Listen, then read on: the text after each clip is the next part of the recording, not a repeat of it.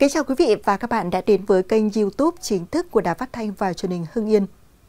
Thưa quý vị và các bạn, ngoài cập nhật những thông tin thực sự nóng nhất, mới nhất, kênh YouTube của Đài Phát thanh và Truyền hình Hưng Yên còn gửi đến quý vị hồ sơ các vụ trọng án đã và đang xảy ra với những phương thức gây án khác nhau của từng tên hung thủ gây ra rất nhiều hệ lụy đau thương cho các nạn nhân, gia đình và xã hội.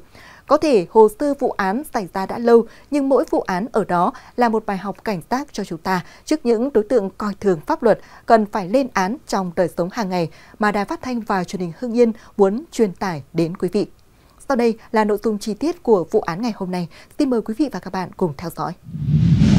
Khó khăn, trồng chất Khoảnh khắc chạm vào thi hài đang bị chèn tảng bê tông buộc dưới dòng mương đầy bèo vẫn ám ảnh anh Nguyễn Công Hồng, người dân xã Châu Giang, huyện Duy Tiên.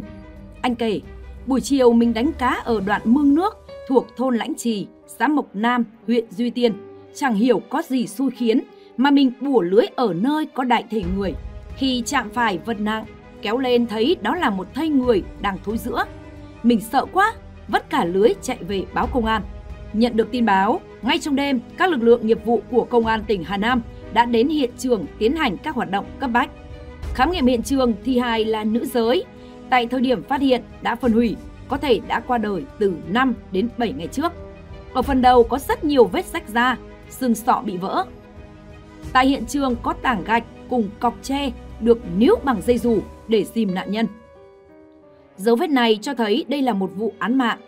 Khó khăn lớn nhất lúc này là thi hài đã ngâm dưới nước nhiều ngày, không thu được dấu vân tay, không có giấy tờ tùy thân cũng như đồ đạc, tài sản giúp điều tra danh tính nạn nhân. Mặt khác, các dấu vết tại hiện trường đều không còn gì sau nhiều trận mưa lớn trước đó vài ngày. Hiện trường lại nằm ở giữa cánh đồng, gần nghĩa địa, cách xa khu dân cư nên hoạt động giả soát, truy tìm nhân chứng, hiện trường không thu được bất kỳ thông tin gì có liên quan đến vụ án. Manh mối để lực lượng điều tra suy đoán về nạn nhân dựa vào đặc điểm ngoại hình. Người này mặc áo màu da báo, váy lửng bằng đồ bóng, chân đi tắt, bôi sơn móng chân, móng tay, cắt tóc ngắn. Đội điều tra nhận định ăn diện như vậy rất có thể là người từ địa phương khác đến, vì đây là vùng thôn quê, thuần nông. Cũng có thể nạn nhân bị ra tay ở nơi khác. Chỗ này không phải là hiện trường chính, mà chỉ là nơi xóa dấu vết tội phạm.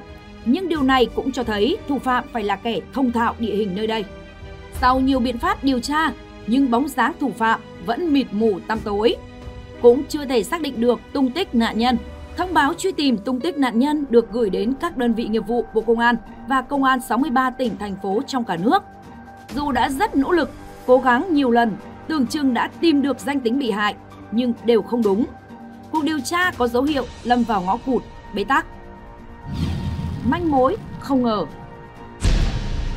Giữa bao khó khăn trong hành trình giải mã vụ án, ngày 27 tháng 4, Cục xuất nhập cảnh Bộ Công an gửi đến công an các địa phương trong toàn quốc bản thông báo truy tìm tung tích của một nữ giới quốc tịch Trung Quốc nhập cảnh Việt Nam qua cửa khẩu hữu nghị vào lúc 12 giờ trưa ngày 8 tháng 4, sau đó mất tích. Người trình báo trường hợp mất tích này là bà Thu Anh ở khu tập thể Đầu Tàu, quận Hoàng Mai, Hà Nội. Theo đó, bà Anh có hẹn công chuyện với một nữ doanh nhân người Trung Quốc tên là Khâm Xuyên Tiên. Ngày 8 tháng 4, bà Tiên đã nhập cảnh vào Việt Nam nhưng không đến gặp bà như đã hẹn và bật vô âm tín từ đó. Bà Anh cho biết người này thường qua lại buôn bán ở Việt Nam và ở trọ tại khu vực bến xe Gia Lâm, Long Biên. Thông qua cục xuất nhập cảnh, công an đã mời thân nhân của bà Tiên sang nhận diện người thân. Khi nhận diện nạn nhân qua ảnh, chồng và con bà Tiên thấy nạn nhân tương đối giống người thân của mình. Tiến hành giám định ADN, kết quả cho thấy nạn nhân trong vụ án và bà Khâm Xuyên Tiên là một người. Hành trình ly kỳ Tiếp xúc với bà Thu Anh, trinh sát được biết đã có lần nữ doanh nhân này được một người lái xe ôm tên là Hùng, thạo tiếng Trung Quốc, trở đến giao dịch. Tổ công tác liền phối hợp với công an quận Long Biên bí mật truy tìm đối tượng tên Hùng, lái xe ôm, thạo tiếng Trung Quốc tại khu vực bến xe Gia Lâm. Tìm mãi cũng thấy nhưng người này lại có tên khác nữa là Nguyệt, cũng chưa biết có phải kẻ đã đi cùng bà Tiên hay không. Qua điều tra, một điều khiến trinh sát khấp khởi mừng thầm, đó là có tin gã lái xe ôm này có quê gốc ở Hà Nam. Kết quả tra cứu tàng thư căn cước công dân, kẻ nghi vấn có tên đầy đủ là Phạm Thu Nguyệt, tên gọi khác là Phạm Mạnh Hùng, sinh năm 1963, trú tại xã Mộc Nam, huyện Duy Tiên, tỉnh Hà Nam.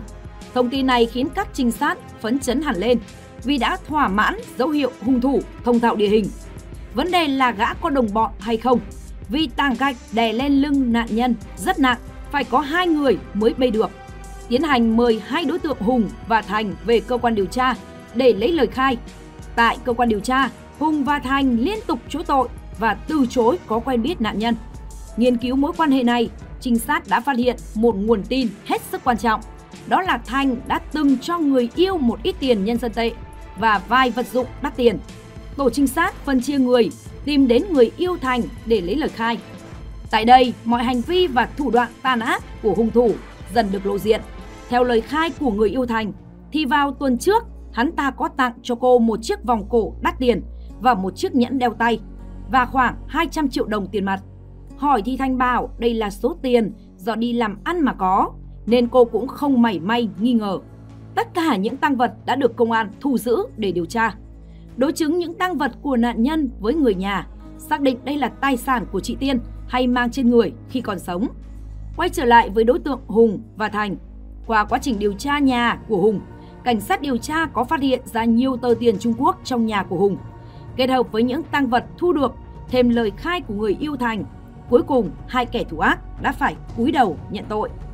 Theo đó, Hùng là người trước kia vẫn hay chờ và đưa đón bà Tiên mỗi lần bà sang Việt Nam để giao dịch. Lâu dần thành người quen nên hoàn toàn tin tưởng và không mảy may suy nghĩ. Lần này cũng như bao lần khác, Hùng đón bà Tiên từ cửa khẩu rồi đi Bắc Ninh để giao dịch hàng hóa. Qua nói chuyện, hắn biết bà đi giao dịch hơn 600 triệu đồng. Hắn nảy lên lòng tham và muốn chiếm đoạt số tiền đó. Nhưng biết được rằng nếu một mình hắn thì không thể ra tay, hành động, nên có liên hệ trước với Thành để cùng phối hợp hành động. Khoảng 17 giờ cùng ngày, Hùng chở bà Tiên đi lấy tiền xong.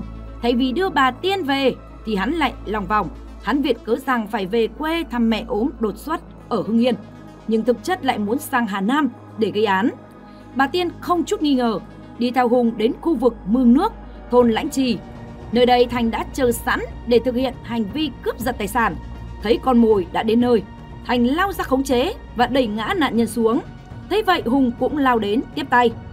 Khu vực vốn ít người qua lại, lại thêm trời tối, nên hai đối tượng càng dễ bề hành động.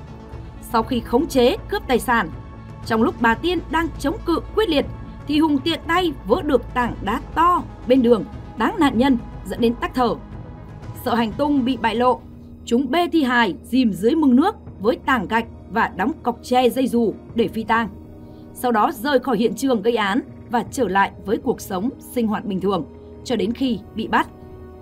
Tại hội đồng xét xử, thẩm phán tuyên bị cáo Hùng với mức án cao nhất là tử hình. Thành là đồng bọn giúp Hùng thực hiện hành vi ác, tham gia cướp tài sản của nạn nhân, tòa tuyên án 18 năm tù. Những thông tin vừa rồi đã khép lại chương trình Hồ sơ vụ án trên kênh YouTube của Đài Phát thanh và Truyền hình Hưng Yên. Cảm ơn quý vị và các bạn đã quan tâm theo dõi. Xin kính chào và hẹn gặp lại.